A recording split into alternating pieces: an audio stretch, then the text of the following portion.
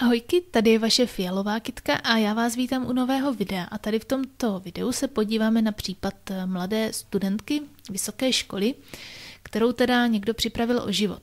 Já jsem tento případ uvedla jako vyřešený, protože do jisté míry už tam byl nalezen někdo, kdo teda v tom případě už konečně vypadá, že by mohl být opravdovým pachatelem. Každopádně ale je to pořád ještě trošku takový nedořešený, takže asi potom uvidíme, jak to bude dál. No ale já si myslím, že úplně nejlepší bude, když si to teda poslechnete, takže se pohodlně usaďte a jdeme na to. Faith Hedgepeth se narodila v roce 1992 v okrese Warren v severní Karolíně. Její rodiče se po jejím narození celkem brzo rozvedli. Rozvedli se dřív, než oslavila svůj první rok. Faith byla vychovávána svou matkou Connie s pomocí starší sestry v Holistru a Warrentonu. Její matka Connie jí pojmenovala Faith, protože věřila, že tady toto jméno jí přinese štěstí do života, protože ona už měla tři děti, měla dva syny a dceru a oba ti synové, dcera i její bývalý manžel měli problémy s užíváním jistých zakázaných látek. Takže ona doufala, že tady toto jméno prostě přinese tomu dítěti štěstí a to dítě prostě bude nějak fungovat v pořádku, tak, jak by fungovat mělo. Ono to jméno Fate v podstatě znamená víra, nebo něco v tom smyslu. Fate se v životě ze začátku celkem dařilo. Na střední škole patřila mezi ty lepší studenty, byla taky rostleskávačka a členkou mnoha dalších mimoškolních klubů a organizací. Měla velmi dobrý prospěch, takže nakonec získala i stipendium Gates Millennium Scholarship, aby mohla navštěvovat University of North Carolina v Chapel Hillu. Tuto školu snad měl někdy dřív navštěvovat i její otec, který z té školy ale odešel. Takže ona doufala, že teda bude první z rodiny, kdo zvládne vystudovat i vysokou školu. Po pregraduálním studiu uvažovala o dalším studiu. Zvažovala totiž práci dětské lékařky nebo třeba učitelky. První dva roky na univerzitě zvládala poměrně dobře, i když si na jarní semestr v roce 2012 vzala volno. Přes léto zůstala v oblasti Chapel Hill a během měsíce srpna bydlela v bytě mimo areál univerzity v Houghton v komplexu View mezi Chapel Hillem a Darhamem. Na podzimní semestry byla poskytnuta finanční pomoc a ona se plánovala později tedy z tohoto bytu odstěhovat. Jinak ten byt sdílela ještě s další dívkou, s Karenou Rosario, se kterou se přátelila od prvního ročníku a s přítelem té Karen, Erikem Takojem Johnsonem. Vztah tady té kamarádky s jejím přítelem nebyl úplně dobrý, dokonce se tam snad objevovalo mezi nimi i nějaké násilí a ta Karen to nakonec ukončila a Erik se musel odstěhovat. Začátkem července 2012 se však dvakrát pokusil vloupat do bytu a to i poté, co dívky vyměnily zámky. Fade nakonec přesvědčila Karen, aby to nahlásila na policii a pokusila se získat nějaký zákaz přiblížení nebo něco podobného, aby se o ní Erik držel dál. Erik údajně nesnášel to, že Fate měla vliv na jeho bývalou přítelkyni a v jednu chvíli, údajně teda během telefonického rozhovoru, s Fate jí vyhrožoval, že ji připraví o život, pokud ho nenechá, aby se znovu dal dohromady s Karen. Ve čtvrteční večer 6. září 2012 se Faith v 17.45 účastnila rychlé akce pro kapitolu kampusu Alpha Pi Omega. 19.15 pak odešla s tím, že musí ještě vypracovat nějakou práci o historii svého kmene. Ona a Karen šli do univerzitní Davisovy knihovny, aby se tam spolu učili. Přišli tam zhruba ve 20 hodin večer. Mezi půl devátou a devátou si Faith psala zprávy se svým otcem a psala mu, že by se právě chtěla připojit k tomu spolku Alpha Pi Omega, což byl právě i historicky jako indiánský spolek, asi studentů, kteří byli indiáni. Takže Faith se potom z knihovny vzdálila někdy kolem půl dvanácté večer. Tom se ale vrátila a kamarádky se společně vrátili do jejich bytu. Tam se dostali zhruba kolem půlnoci. O půl hodiny později znovu odešli a tentokrát zamířili do The Trill, což byl nějaký diskotékový klub v centru Chapel Hillu, kam pouštěli i lidi, kteří měli méně než 21 let. Tam dorazili zhruba kolem tři čtvrtě na jednu ráno. Po téměř hodině a půl Karen řekla, že má nějaký podrážděný žaludek a že asi půjde. Na záznamech bezpečnostních kamer je vidět, že obě dívky odešly ve 2.06 ráno. Toto je poslední vizuální záznam jejich přítomnosti kdekoliv předtím, než došlo teda k tomu napadení. Ve tři hodiny ráno se obě vrátili do svého bytu. Žena, která bydlela pod nimi a byla vzhůru a sledovala televizi, řekla, že krátce slyšela tři bouchání, které popsala jako podobné spadnutí těžkých tašek nebo převrácení nábytku. Zhruba ve stejnou dobu byla taky navštívena facebooková stránka nebo facebookový profil Faith. Ve 3.40 ráno byla z jejího telefonu odeslána textová zpráva na telefon Brandona Edwardse, bývalého přítele Karen. Ale ne toho, který napadal, to byl někdo jiný. Ta zpráva zněla. Ahoj B, můžeš sem prosím přijít. Karen tě potřebuje. Potřebuje tě strašně moc, víš, prosím ozvi se. O tři minuty později mu poslala další SMSku. Podle všeho v ní stálo ale jen slovo než, což bylo považováno za opravu jednoho slova v té předchozí SMSce. Toto byla poslední aktivita na jejím telefonu. Ve 4.16 poslal Edward zpětnou vazbu s dotazem, kdo tu SMSku poslal.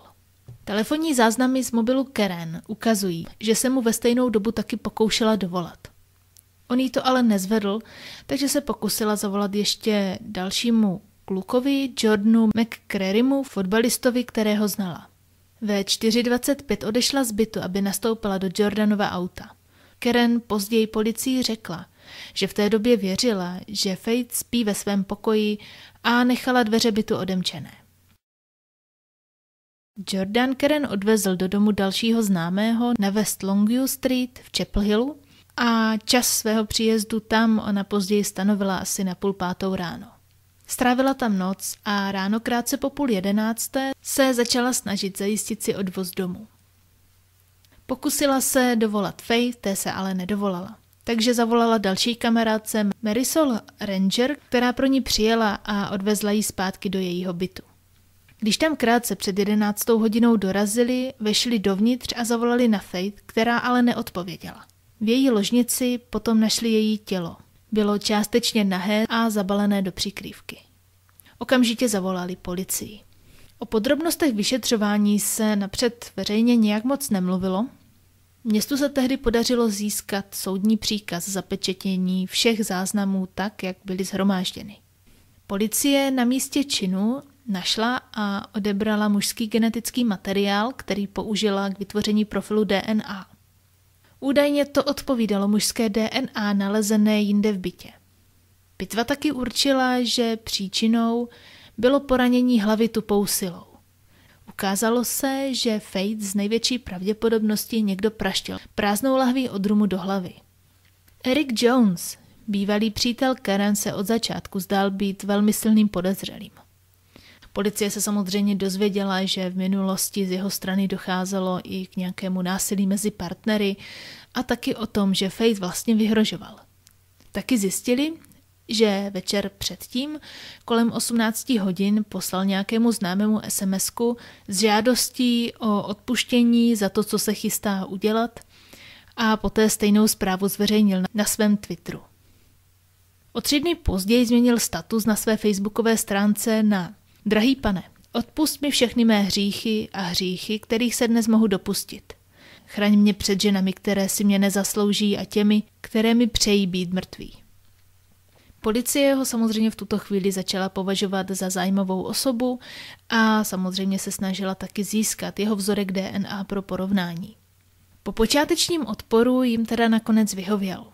Jenže jeho DNA se se vzorkem zbytu nezhodovala. Tím pádem ho policie jako podezřelého vyloučila.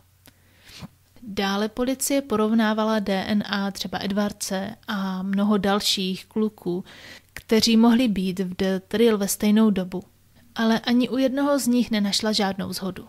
Během několika dní správní rada univerzity, místní pobočka Crime Stoppers, kmen Haliva Sapony a bytový komplex nabídli dohromady 29 tisíc dolarů jako odměnu za informace vedoucí k zatčení pachatele. Policie doufala, že peníze by mohly vést k rychlému vyřešení případu.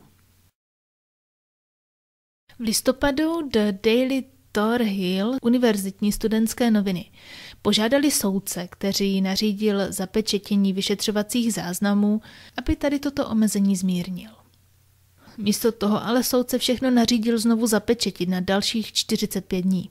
V té době třeba policie ještě vůbec nezveřejnila ani příčinu, ačkoliv její rodiče samozřejmě věděli, jaká byla příčina a médiím to řekli. Nebo respektive ta policie v podstatě neuvedla vůbec ani to, jestli se teda jednalo opravdu o násilný čin a ty rodiče tedy médiím řekli, že se skutečně jednalo o násilný čin. Policie nakonec v lednu oznámila, že DNA, která byla nalezena na místě, je mužská, což my už vlastně víme. Z místa činu a dalších důkazů Federální úřad pro vyšetřování, takže FBI, nakonec vytvořil profil muže. Uvedli, že je pravděpodobné, že v minulosti bydlel poblíž. A že je taky možné, že o ní mohl nějakým způsobem projevovat zájem a to až nějak nepříjemně, patologicky a mohlo to vyvrcholit bohužel tady tímto činem. Další informace o případu i nadále zůstaly zapečetěné. V září 2013, což bylo vlastně rok potom, co se ten případ stal, policie v Chapel Hillu formálně požádala o pomoc státní úřad pro vyšetřování v Severní Karolíně, který při vyšetřování již dříve poskytl pomoc. Na případu tvrdě pracujeme a využili jsme všechny možné zdroje, řekl šéf Chris Blue. Další informace o případu však nezveřejnil. O dva měsíce později Tar Hill, to byl ten časopis, poznamenal, že případ Fate zůstává otevřený a stejně tak s případem Davida Shannona, což byl nováček na univerzitě, jehož tělo bylo nalezeno na pozemku cementárny Carboro 27. října. Tento muž měl přijít o život po pádu a při pitvě bylo zjištěno, že byl teda velmi opilý, ale policie v Carboro měla podezření na to, že se mu mohli třeba někteří jeho spolužáci posmívat a dělat mu zlé, a zkrátka a dobře, že někteří studenti by třeba o okolnostech jeho smrti mohli vědět tak trochu víc.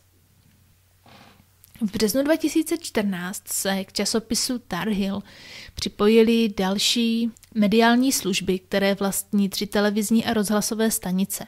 Postavili se proti návrhu okresního prokurátora na prodloužení zapečetění informací o dalších 60 dní.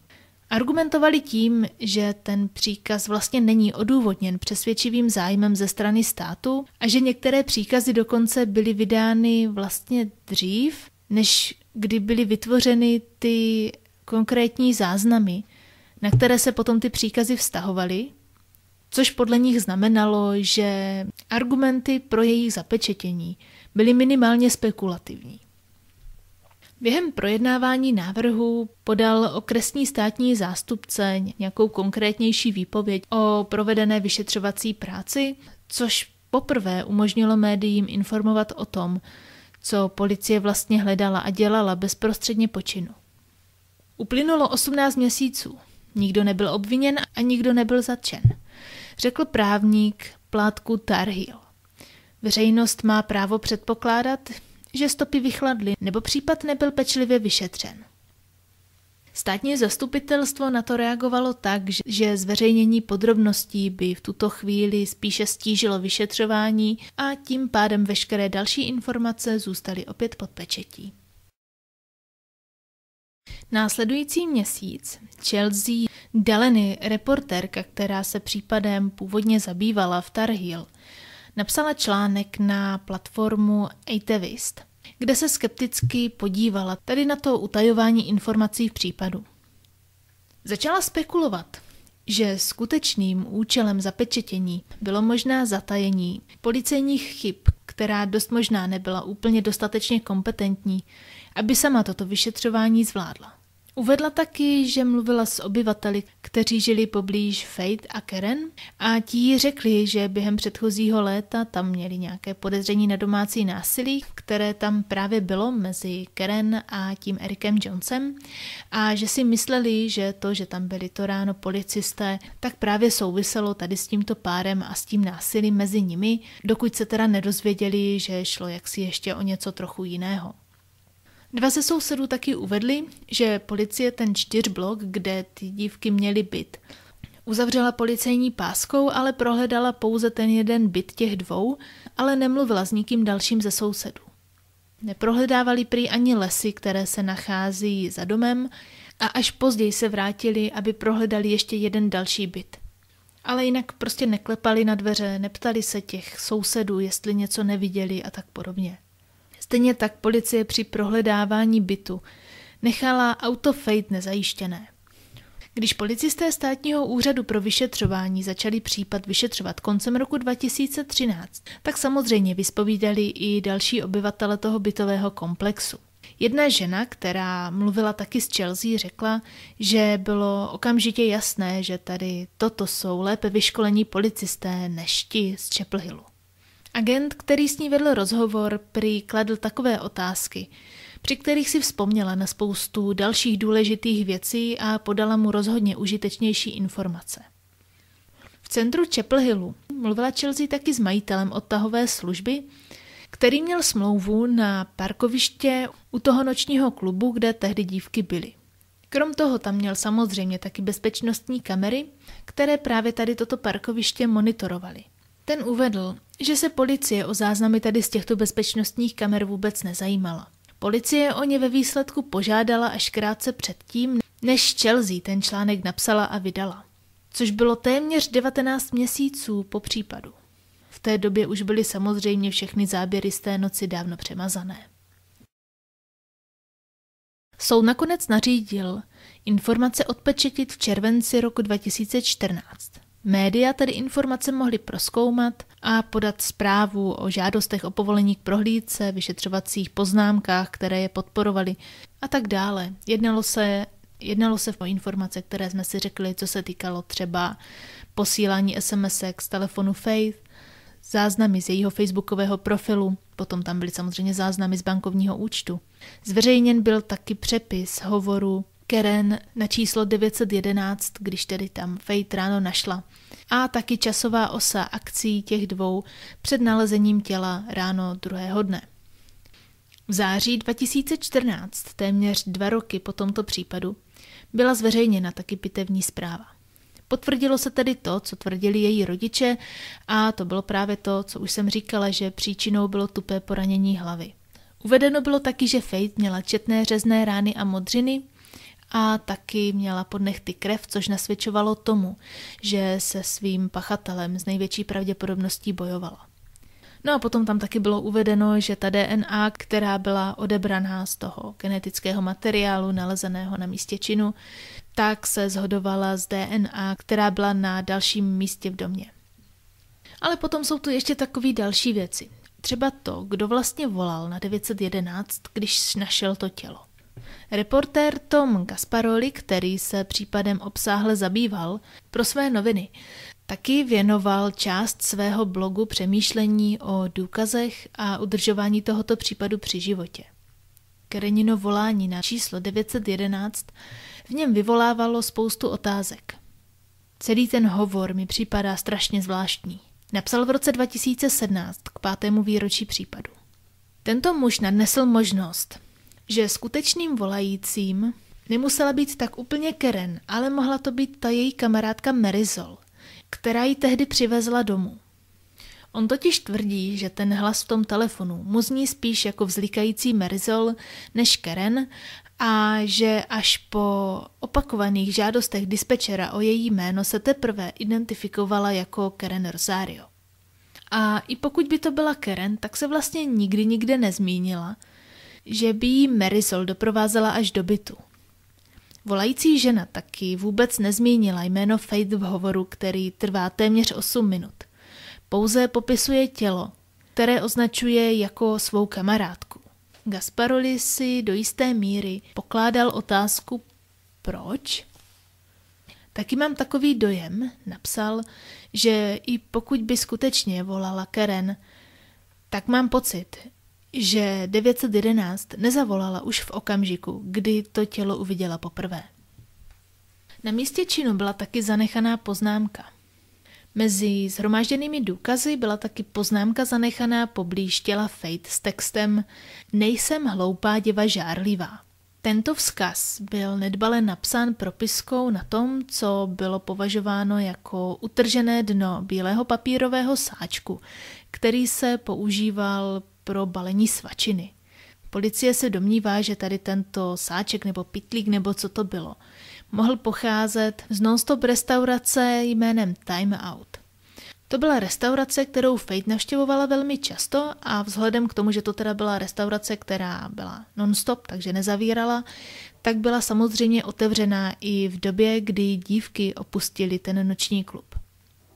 Vyšetřovatelé neuvedli, jestli nechali analyzovat rukopis. Webová stránka Crime Watch Daily nechala odbornici Peggy Wall, aby si prohlédla fotografii této poznámky. Peggy si všimla, že ten papír třeba nebyl od krve, která jinak byla rozstříkaná po celé místnosti, což by mohlo naznačovat, že byl napsán buď mimo místo činu, anebo předem. Taky uvedla, že pisatel mohl používat svou nedominantní ruku ve snaze zamaskovat svůj vlastní rukopis. Tím se myslí samozřejmě to, že pokud by ten pisatel byl třeba pravák, tak by to napsal schválně levou rukou, aby právě nebylo poznat, že to napsal on. Peggy věří, že ten, kdo to psal, tak byl velmi rozrušený a že byl z největší pravděpodobností strašně vsteklý. Gasparoli ve svém příspěvku k pátému výročí případu uvedl, že se policie tady k tomuto odmítla vyjádřit, i když na další otázky odpovídala v pohodě. Taky vysvětloval, že ta slova mohla být třeba zamýšlena tak, aby byla přečtena v jiném pořadí, čímž vznikaly nějaké další formulace, které taky dávaly smysl. Navíc teoretizoval, že do toho mohlo být zapojeno více lidí, nebo to mohlo napsat více lidí, a že prostě ne všechna slova by byla napsána ve stejnou dobu. Konkrétně slovo hloupý nebo hloupá se Gasparolimu obzvláště zdálo, že by mohlo být napsáno jindy než ostatní slova. Šlo o to, že bylo napsáno jakoby jasněji a trochu stranou od ostatních. Gasparoli si samozřejmě taky pokládal otázku. Proč by tam někdo ten vzkaz vlastně nechal?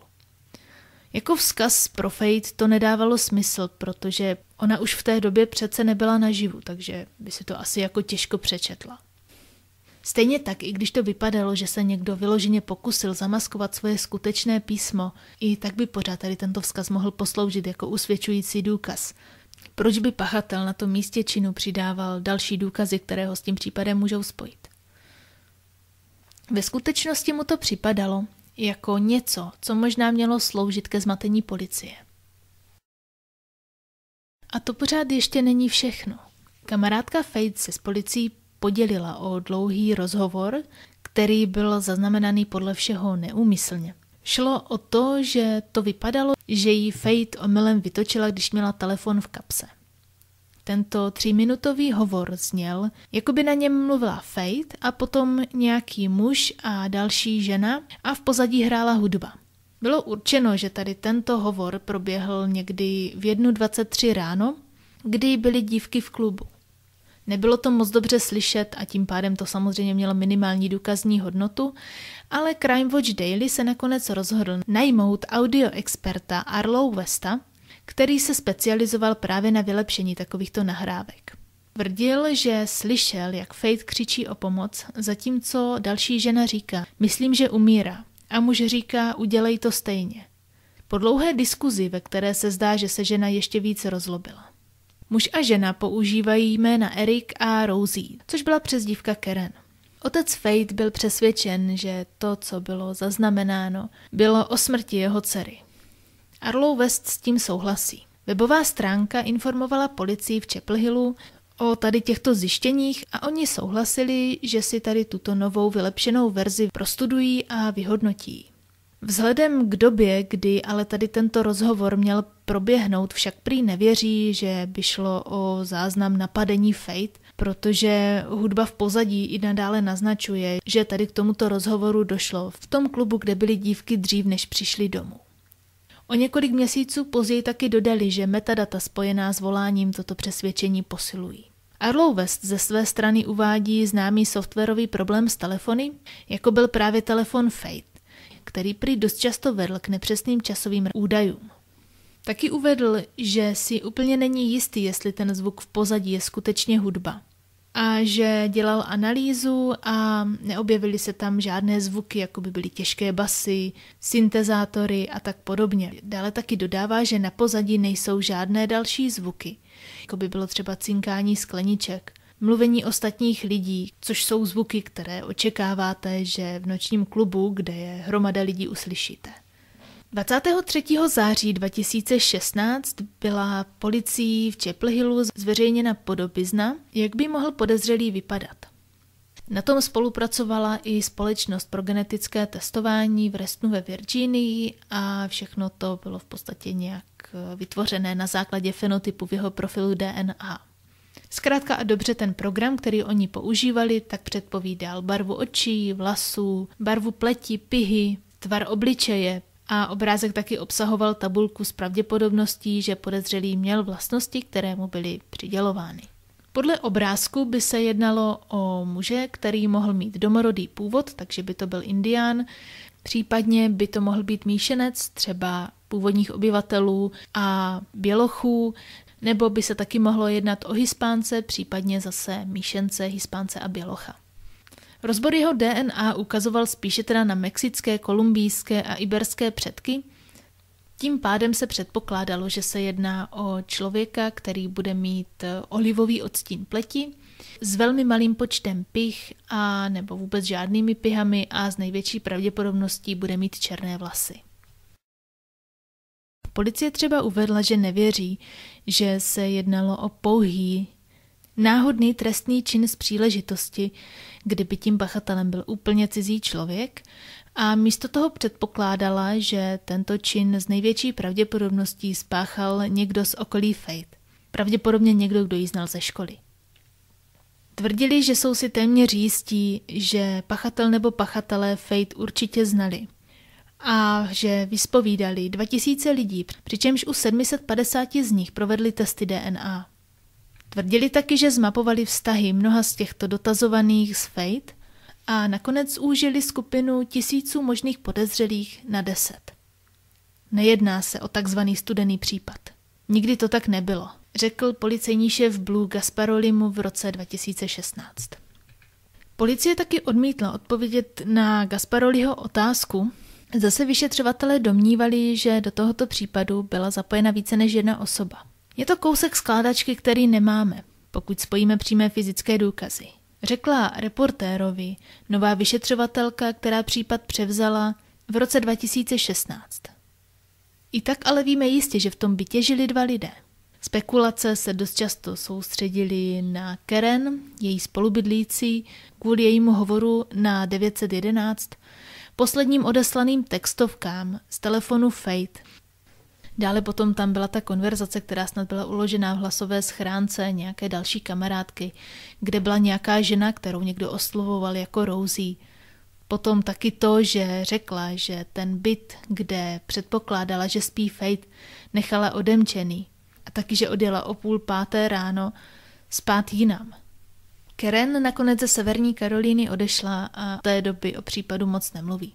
Gasparoli v roce 2017 napsal, že se od svých policejních zdrojů dozvěděl, že s nimi je Karen stále v kontaktu a že s nimi tedy nějak víceméně spolupracuje. Gasparoli sám uvádí. Říkají, že věří, že jim toho může říct víc. Zní mi to, jako by byla tak trochu v hledáčku. Uvádí Gasparoli.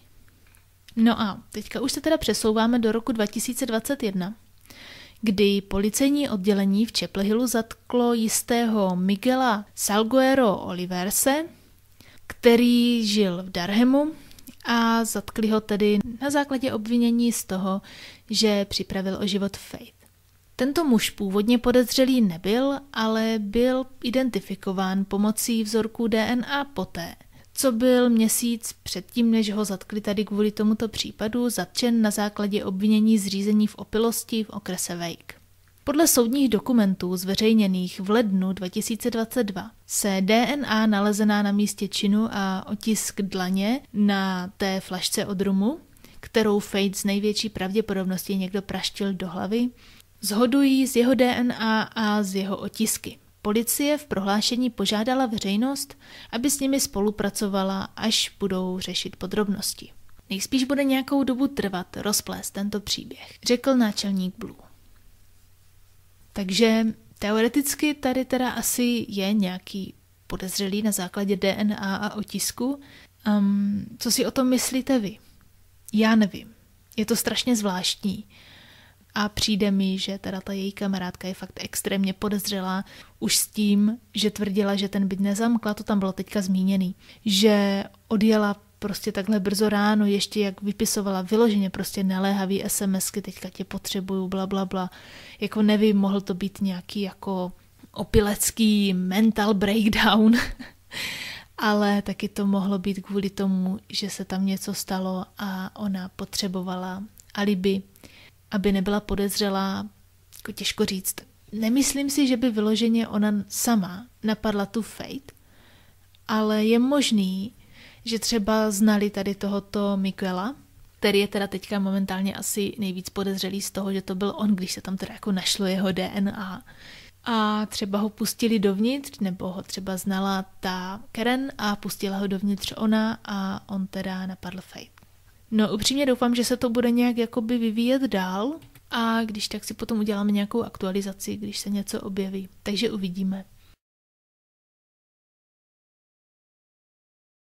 No a to už by teda z mojí strany bylo všechno.